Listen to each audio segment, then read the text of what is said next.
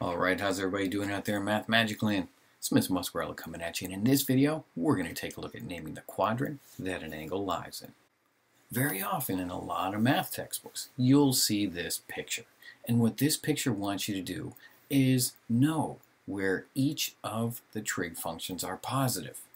Of course, everything will be positive in quadrant number one, sine is positive in quadrant number two, tangent is positive in quadrant 3, and cosine is positive in quadrant number 4.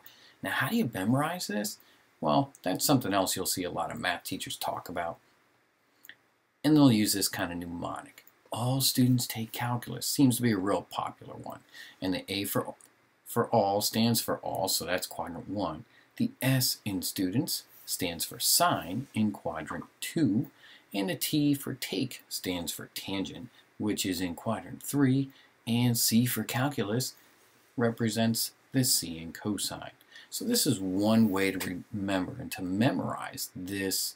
Don't forget, these are only three of the six trig functions. So they're reciprocal functions of sine, cosine, tan. They would be positive in the same spots as their reciprocals, which means in quadrant 2, cosecant is also going to be positive. In quadrant number 3, cotangent is going to be positive, and of course secant will be positive in quadrant 4 because it's the reciprocal of the cosine function. So here's a typical problem that you'll see in a math textbook or given to you by your math teacher.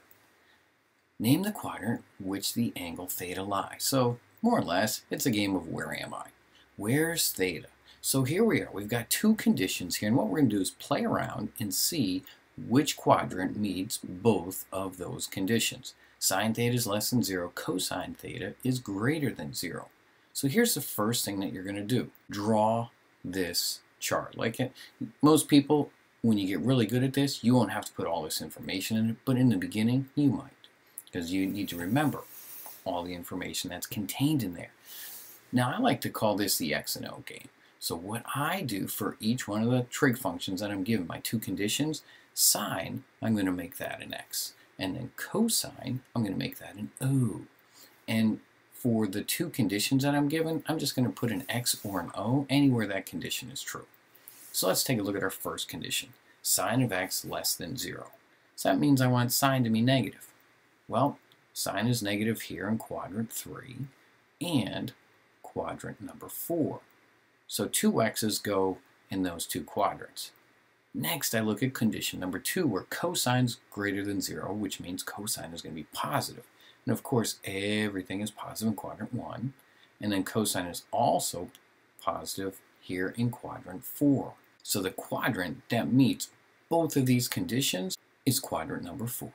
Name the quadrant which the angle theta lies. So again, I'm going to go x's and o's, tangent's going to be x, and then secant is going to be my o.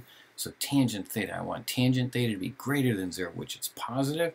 So that's going to be in quadrant 1 and over here in quadrant 3. Secant, I want secant to also be positive. So that's going to be in quadrant 1 and down here in quadrant number 4. The winning quadrant that has an X and an O in it for these two conditions is quadrant number 1. This is getting pretty easy, isn't it? I think you guys got this by now. But wait, there's one more examples with some other numbers. Check this out. Ooh, gross. Name the quadrant which the angle theta lies. Sine theta is root 21 over 7. Cosine theta is negative 2 root 7 over 7. Oh, gosh. Don't freak out. Again, just go to x's and o's. So you got x's for sine, you got o's for cosine, and what you're going to do is just put an x and an o in each one of the quadrants where those conditions are each true. So go ahead and try this one on your own. Hit pause, come on back, and see if you filled this one out correctly. So, how'd you do?